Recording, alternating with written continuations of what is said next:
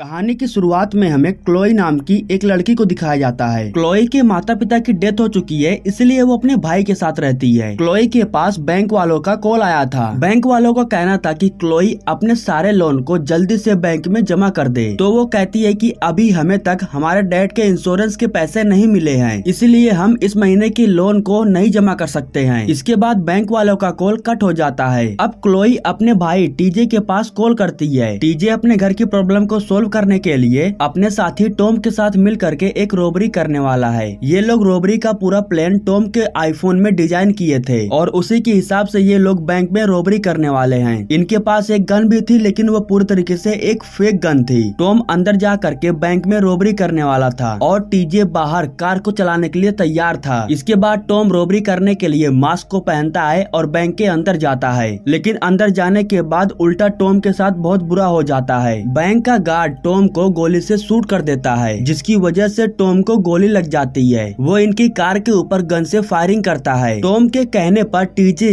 Car को लेकर के यहाँ से भाग जाता है। वो भाग करके सीधा अपने घर अपनी बहन के पास आता है। टीजे बहुत डरा हुआ था। घर आने के बाद वो ये सभी बातें अपने बहन को बताता है। जब क्लोई को पता चलता है की टॉम को गोली लग गई है तो वो बहुत उदास हो जाती है, क्योंकि क्लोई टॉम को डेट कर रही थी और वो उससे शादी भी करने वाली थी। इधर पुलिस वाले टॉम के डेड बॉडी के पास आते हैं और बिना उसके बॉडी को चेक किए उसे मृत घोषित कर देते हैं और टॉम की बॉडी को पोस्टमार्टम के लिए भेज देते हैं। इधर टीजे अपनी बहन को पूरा प्लान बता रहा था कि ये लोग किस तरीके से रोबरी करने वाले थे। वो टीजे से पूछती है कि तुमने कोई सबूत तो नहीं छोड़ा है? तो टीजे को याद आता है कि सबसे बड़ा सबूत तो टॉम के आईफोन में है। उसने रोबरी का पूरा प्लान उसके आईफोन में ही तो डिज़ाइन किया था। यानी कि पोस्टमार्टम हो जाने के बाद एविडेंस के तौर पर उसके सारे सामान को चेक करेंगे। और उसके फ़ोन को भी चेक करेंगे। और जैसे ही फ़ोन चेक हुआ तो सबसे पहले पुलिस टीजे को उठाने के लिए आएगी। यानी कि अगर इन लोगों ने कुछ भी नहीं किया तो टीजे फंसने वाला है। और ये जुर्म करने के लिए उसे 25 साल की सजा भी हो जाएगी। अब क्लोई ये नहीं चाहती है कि उसके भाई के साथ ऐसा कुछ हो। इसीलिए ये लोग एविडेंस रूम से टॉम के फ़ोन को चुराने वाले हैं। ये लोग पोस्टमार्टम घर के अंदर जाने की कोशिश करते हैं, लेकिन चारों तरफ़ से रास्ता बंद था। एक खतरनाक डॉग था जो इन लोगों को हर दरवाजे से परेशान कर रहा था और ऊपर से कैमरा भी लगा हुआ था तो ये लोग चोरी चुप के अंदर नहीं जा सकते थे। इसलिए क्लोई अपने भाई को बचाने के लिए एक बहुत बड़ा फैसला लेती है। वो एक औरत के पास जाती है और उससे एक खतरनाक ड्रग्स की डिमांड करती है। कुछ पैसे देने के बाद इन्हें वो ड्रग्स मिल भी जाता है। अब क्लोई उस ड्रग्स को अपने ऊपर इस्तेमाल करने वाली है। दरअसल इस ड्रग्स को लेने के बाद इंसान का शरीर और उसका दिमाग काम करना बंद कर देता है और उसका शरीर कुछ समय के लिए पूरी तरीके से मर जाता है। तो अब क्लोई अंदर जाने के लिए अपने आप को कुछ समय के लिए मारने वाली है। हालाँकि उसका भाई ये करने से मना करता है क्योंकि ये खतरनाक साबित हो सकता है। तो क्लोई कहती है कि मोम डैड के जाने के बाद तुम्हारे अलावा मेरा इस दुनिया में कोई नहीं है। और अगर तुम भी दूर हो जाओगे तो मैं अकेले रहकर करूँगी क्या? यह कहने के बाद वो ड्रग्स को अपने शरीर में इंजेक्ट कर लेती है और उसके कुछ ही समय बाद उसे चक्कर आना शुरू हो जाता है। अब जब क्लोई मर जाती है कुछ समय के लिए तो टीजे पुलिस वालों के पास कॉल करता है और उन्हें बताता है की ब्रिज के नीचे एक लड़की की लाश मिली है। वो अपना एड्रेस और नाम पता नहीं बताता है। इसके बाद हमें क्लोई को पोस्टमार्टम घर के अंदर दिखाया जाता है, जहाँ पर बहुत सारे डेड बॉडीज को रखा गया था। उसके पैरों पर एक कार्ड लगाया गया था, जिसे वो निकाल देती है। बाहर जाने से पहले वो देखती है कि इस रूम की तरफ़ कोई आ रहा है। वो अंदर आता, उससे पहले क्लोई जा करके उस कार्ड को अपने पैरों पर लगा लेती है और चुपचाप डेड बॉडीज की तरह लेट जाती है। यहाँ पर काम करने वाला इंसान जिमी सभी डेड बॉडीज के डिटेल्स को लिख रहा था। डिटेल्स को लेने के बाद वो एक लाश को लेकर के यहाँ से चला जाता है। लेकिन जब वो दरवाजे को बंद कर रहा था तो क्लोई फ़ौरन आकर के दरवाजे को रोक देती है, जिसकी वजह से वो बंद नहीं हो पाता है। और इसी तरीके से बड़ी ही आसानी से वो कमरे से बाहर आ जाती है। बाहर आने के बाद वो टॉम के फ़ोन को लेने के लिए एविडेंस रूम को ढूंढ रही थी। रूम को ढूंढते हुए वो एक कमरे में चली जाती है। कमरे के लाइट को ऑन करने के बाद उसने जो देखा, उसे देखने के बाद उसके होश उड़ गए। किसी ने एक लड़की के शरीर को जगह जगह पर काटा था और उसके शरीर के ऑर्गन्स को बाहर निकाला था। यह देख करके क्लोई बहुत डर जाती है। उसे नर्स का कपड़ा दिखाई देता है, जिसे वो फ़ौरन पहन लेती है और कमरे की लाइट को ऑफ़ कर देती है। लेकिन इस आवाज़ को जिमी सुन लेता है और वो चेक करने के लिए कमरे में आता है। उसे कुछ दिखाई नहीं देता है तो वो इग्नोर करके यहाँ से चला जाता है। मेन गेट पर कोई आया था और जिमी उसी से मिलने जा रहा था। तो क्लोई भी उसका पीछा करते हुए मेन गेट तक आ जाती है। गेट पर एक डक नाम का बंदा आया था और वो इंसानों के ऑर्गन्स को लेने के लिए ही आया था। दरअसल जिम्मी ही है जो ज़िंदा लोगों के शरीर से उनके ऑर्गन्स को निकाल करके उन्हें बेच देता है। इन लोगों के बातों से क्लोई को मालूम चल जाता है कि ये लोग इंसानों के ऑर्गन्स को बेचने का काम करते हैं और वो भी ज़िंदा इंसानों के, क्योंकि मरे हुए इंसानों के ऑर्गन्स का कोई काम नहीं रहता। खैर, अब इसके बाद क्लोई एविडेंस रूम को ढूँढने के लिए जाती है और वो एक कमरे में चली जाती है जहाँ पर उसे एक बॉडी दिखाई देती है। वो बॉडी को चेक करती है तो वो बॉडी टॉम की थी। उसके बॉडी को देखने के बाद क्लोई निराश होकर के रोने लगती है। वो टॉम के बॉडी को चेक करती है तो उसके शरीर से भी एक किडनी को निकाला गया था, जिसे देख करके वो बहुत ज़्यादा डर जाती है और यहाँ से जाने लगती है। लेकिन तभी अचानक टॉम ज़िंदा हो जाता है और वो क्लोई के हाथों को पकड़ लेता है। टॉम को ज़िंदा देख करके क्लोई खुश और हैरान भी थी। क्लोई ये सोचकर हैरान थी कि जब टॉम ज़िंदा था तो उसे हॉस्पिटल में क्यों नहीं लेकर गए? क्योंकि यहाँ के लोग यही काम करते हैं। वो ज़िंदा लोगों को हॉस्पिटल में नहीं भेजते हैं, बल्कि उनके शरीर से ऑर्गन्स को निकाल करके उन्हें मृत घोषित कर देते हैं। क्लोई को देख करके टॉम भी बहुत खुश था।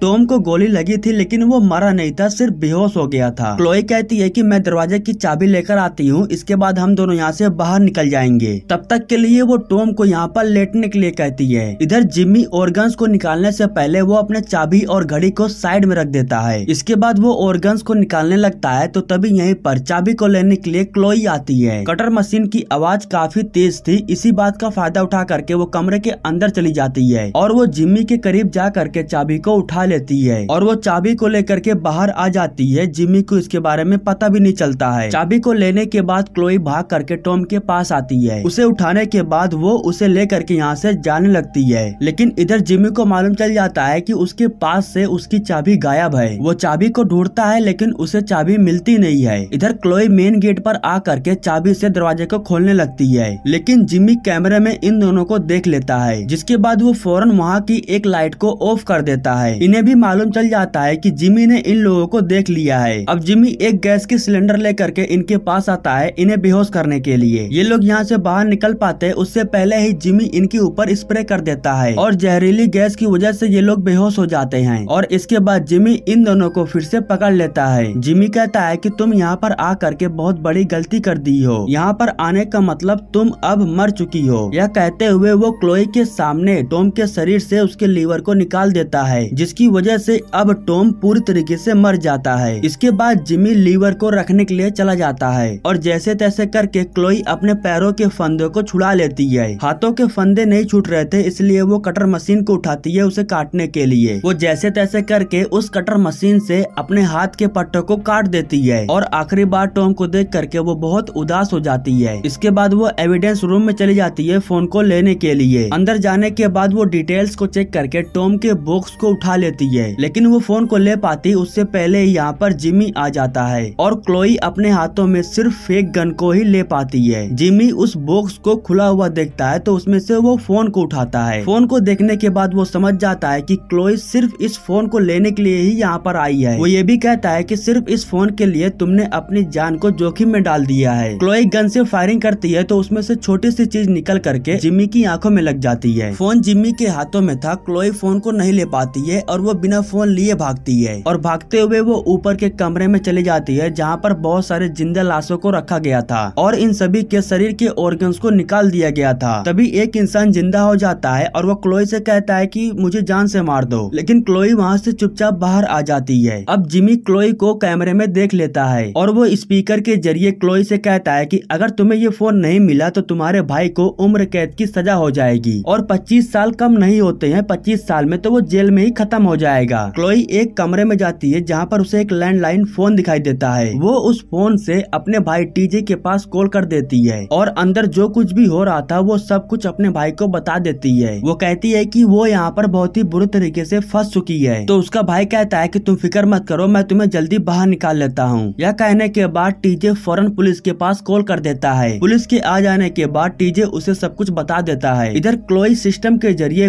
मेन गेट को ओपन कर देती है और तभी पुलिस और उसका भाई उसे बचाने के लिए यहाँ पर आ भी जाते हैं। क्लोई बहुत डरी हुई थी। वो सब कुछ सच सच पुलिस को बता देती है। पुलिस वाला भी क्लोई की बातों पर यकीन कर लेता है और वो चेक करने के लिए अंदर जा रहा था। लेकिन वो अंदर जाता नहीं है, वो क्लोई के ऊपर हमला कर देता है और उसके भाई के ऊपर भी हमला करके उसे बहुत पीटता है। दरअसल पुलिस वाला भी जिमी के साथ मिला हुआ था। लेकिन क्लोई के पास वो फेक गन थी, जिसे वो दिखा करके अपने भाई को लेकर के यहाँ से भाग जाती है और भागते हुए इन लोगों को एक छोटा सा दरवाज़ा दिखाई देता है, जिसके द्वारा ये लोग बेसमेंट के अंदर चले जाते हैं। दोनों ही भाई बहन एक दूसरे के करीब देख करके बहुत खुश थे। अब कुछ समय बीत जाने के बाद डक वापस आता है अपनी डिलीवरी लेने के लिए। उसे एक और लीवर चाहिए था, लेकिन अभी तक जिम्मी ने एक भी लीवर नहीं निकाला है। तभी डक को पुलिस की कार दिखाई देती है, जिससे वो समझ जाता है कि पुलिस वाला भी जिम्मी के साथ मिला हुआ है। हालाँकि पुलिस वाला नहीं चाहता था कि ये बात किसी को पता चले, इसलिए वो डक को मार देता है। डक को गोली लगी थी, वो गिर करके बेहोश हो जाता है। इधर क्लोई को एक छोटा सा खिड़की दिखाई देता है, जिससे ये लोग बाहर जाने लगते हैं। डक को गोली मारने के बाद ये लोग डक के शरीर से ही उसके लीवर को निकालने वाले थे। जिम्मी के पास एक कॉल आया था और वो कॉल पर बात करने के लिए बाहर जाता है। तभी वो कैमरे में देखता है कि क्लोई और टीजे मिल करके डक को बचाने की कोशिश कर रहे थे। ये दोनों डक को लेकर के ऊपर के कमरे में आ जाते हैं। लेकिन तभी यहीं पर जिम्मी आ करके इन लोगों के पास जहरीली गैस फेंक देता है। पुलिस को देखने के बाद टीजे उसे